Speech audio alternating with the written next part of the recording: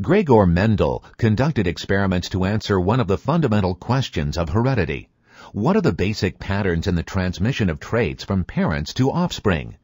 In this recreation of Mendel's historic experiments, you will have the opportunity to predict the outcome of two types of genetic crosses using a Punnett square.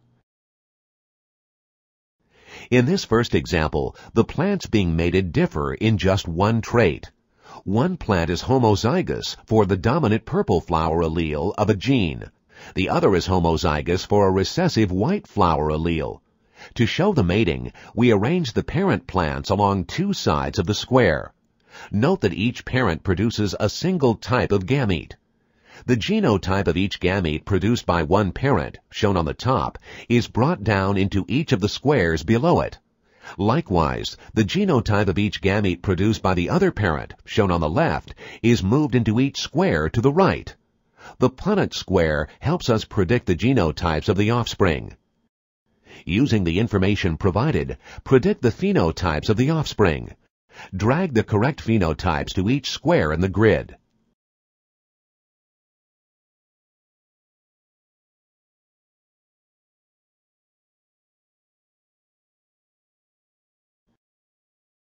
Notice that all of these offspring have the same flower phenotype as the purple flowered plants in the parental generation.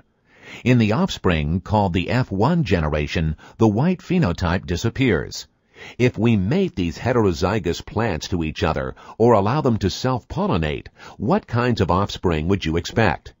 From the choices given, select the correct gametes to place on the two sides of the Punnett square.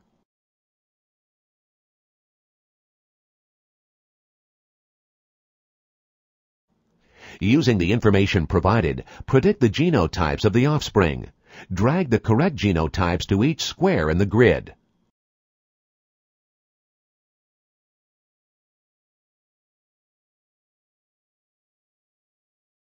Using the information provided, predict the phenotypes of the offspring.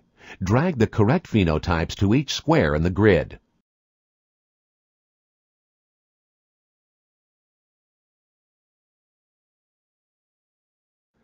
This first series of crosses recaps the result of a mating in which the parent plants differ in a single trait. The parent plants are homozygous for the dominant and recessive alleles. Their F1 offspring are heterozygous and show the dominant purple flower phenotype. The next generation, called the F2 generation, reveals a typical 3 to 1 ratio of phenotypes. The recessive white-flowered phenotype reappears in this generation after having disappeared in the F1 generation. The two series of crosses shown here illustrate a mating of peas in which the parent plants differ in two traits. These traits are round versus wrinkled texture and yellow versus green color. Each cross yields a 3 to 1 ratio of phenotypes in the F2 generation. If the two heterozygous F1 plants were crossed, what genotypes and phenotypes would result? These homozygous parent plants differ in both the R and the Y genes. The round yellow pea has dominant R alleles for a round phenotype and dominant Y alleles for a yellow phenotype. The wrinkled green pea has recessive R alleles for a wrinkled phenotype and recessive Y alleles for a green phenotype. From the choices given, select the correct gametes to place on the two sides of the Punnett square.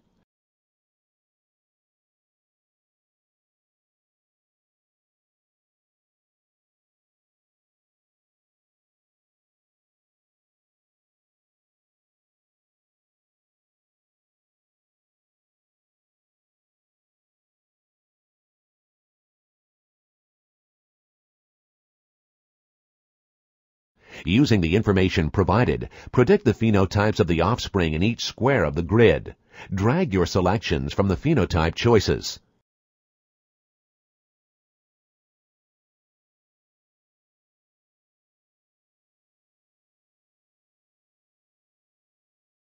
In our cross, notice that all of the F1 individuals show the dominant yellow and round phenotypes. The recessive alleles in this generation are present, but the dominant alleles mask the recessive phenotype. If we mate F1 individuals to each other or allow them to self-pollinate, what kinds of offspring would you expect? Begin by dragging the correct gametes to the two sides of the Punnett square.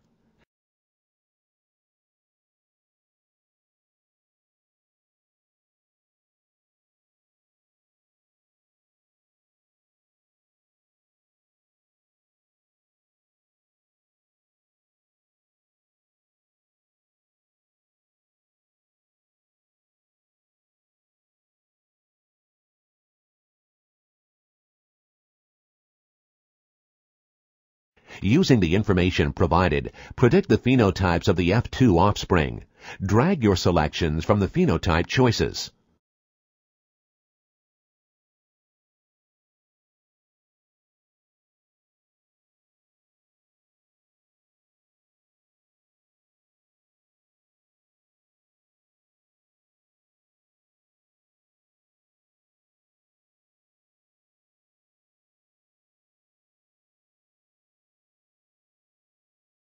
When the genes for two traits are considered, the F2 plants have phenotypes in a ratio of 9 to 3 to 3 to 1.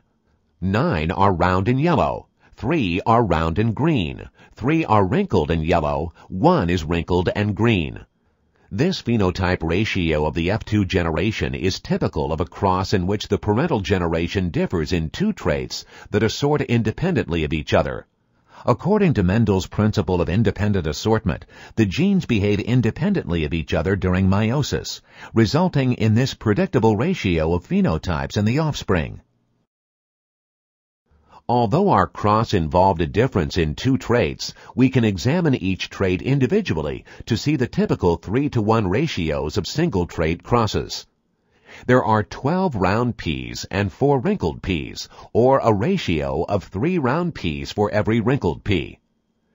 There are also 12 yellow peas and 4 green peas, or a ratio of 3 yellow peas for every green pea.